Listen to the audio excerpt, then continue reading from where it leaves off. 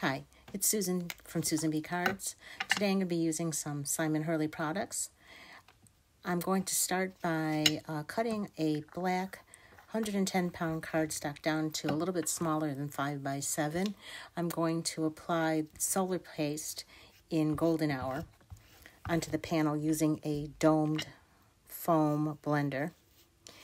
Um, but I realize as I'm putting this on that it's not going on evenly because of the dome shape of the blender. So I'm going to switch in a little bit to a regular flat sponge blender. I'll link everything in the comments below so you can see what I used. Um, today I'm going to be focusing on some Spellbinders products with this card and his new collection which is called Simon Snow Globes. There's quite a few dies and um, there's some sentiments and a snow globe. I don't have the snow globe, so I'm just going to be using the pieces on a regular card. Here you see, once I switch to the regular flat blender, it's much smoother. It's even. I could also use a palette knife, but I found that I apply a much thicker coat because the palette knife tends to leave streaks. I don't want to do that in between switching the colors, I clean it just off on a paper towel. And I clean off the palette knife too, so that way I don't pollute any of my pastes. I'm going to move on to Crocodile Tears, which is a green color. Um, and you can see here that I apply much less onto the scrap piece of paper. You don't really need that much. It's actually a thin coat that goes on, and it'll be nice and smooth. I took the largest oval from the fluted oval collection from Spellbinders, just to get an idea of where the colors are going to be um, once I die cut my top panel. I just want to see what's going to be showing. Be sure that I get all the colors in there. So now you can see the green is going on pretty smoothly. You can go back and kind of cover up those missed spots. It's fine. I'm going to go ahead and clean that off on a paper towel again, clean off my palette knife, and move on to the next color.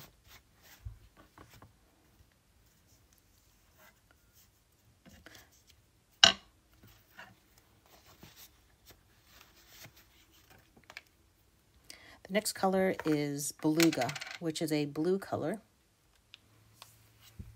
Again, a small amount. You're going to want to let this panel completely dry before embossing it. So I let it dry just about uh, maybe four hours just to be safe, or you could let it dry overnight. Work on a couple of these panels if you want to do more than one. Once you see how pretty the embossed panel looks, you'll probably want to make more than one anyway.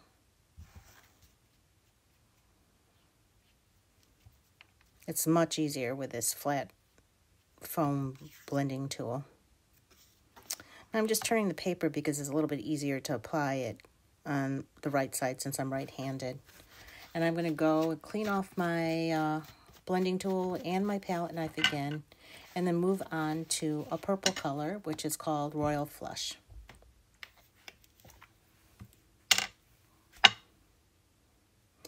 I did have a couple of little dried areas. I probably should have wiped off my um, lid before I put it on sometimes I put a little bit of paste in the lid and, and just dip my blending tool in into that. But uh, then you have to be sure to clean it because otherwise you get these little dried pieces. I've had these pastes since, I think, June when I received them from scrapbook.com. And uh, they really are very nice and pliable still. It hasn't really dried out at all except for the little pieces at the top. You know, you can go ahead and put some um, saran wrap over it. Um, but I, I haven't done that, and they're working really great. No problems at all. So the next color, um, I'm going to use something darker, which is going to be the Lunar Paste, and you'll see how much more pigmented the paste is. When you put the solar paste on the white paper on the right, you can see they all look a little bit iridescent, and it's hard to see exactly what colors they are until you put it on the black cardstock but the lunar paste is very pigmented. You could see the purple as soon as you put it on the paper. And once I put it on the black cardstock, it's going to be very dark. It's going to be very close to black, and I wanted a little bit more dramatic look near the top. So I'm just smoothing the last color on. Um, after I'm done with all this, I'm going to rinse out that foam blending tool. Now I let the panel dry overnight and I'm going to emboss it with the Geo Quilt embossing folder. You can see how beautiful that is. And you can't see really any of the streaks on it.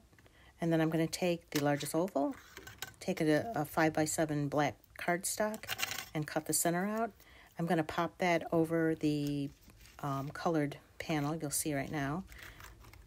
And since I don't have the snow globe dies, I'm just going to use the woodland scene. And um, I cut it out of white 110 pound cardstock.